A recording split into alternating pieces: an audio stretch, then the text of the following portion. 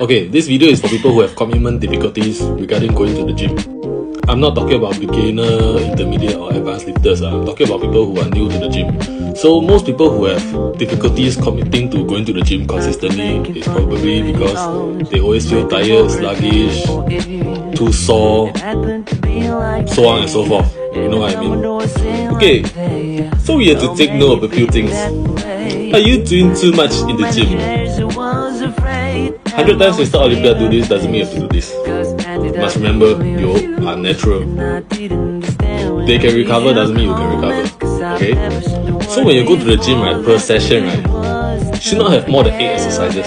Personally, some sessions I have only 4 exercises 5 exercises. Not too much. And most exercises are, are just let's just say all exercises. You all you need is 3 sets. So first two sets warm up, not counted. So one top set. So sets right, ST, SETS sets is used only when you need the extra volume. Most probably you don't need. So all you need is just the one top set, not four sets of 10, three sets of 12, whatever shit. So you just need the one top set, you go to failure.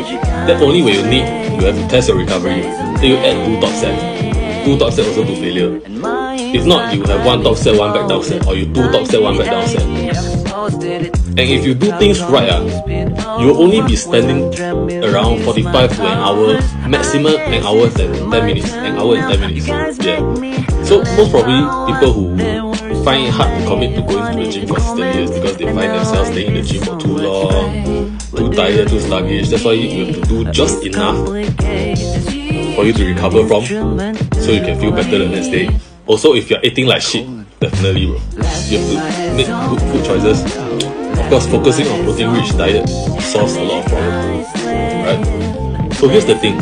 Someone else is doing a lot in the gym and you are just doing what is necessary, what is required, the bare minimum.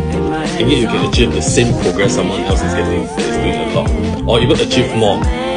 So if you were to do less, achieve more, or even if you can't achieve more, you do less, achieve same with someone else compared to someone else who's doing a lot in the gym. Would it increase the chances of spending less time in the gym and doing less allow you to recover better for your next session, which increases the percentage of you being able to commit better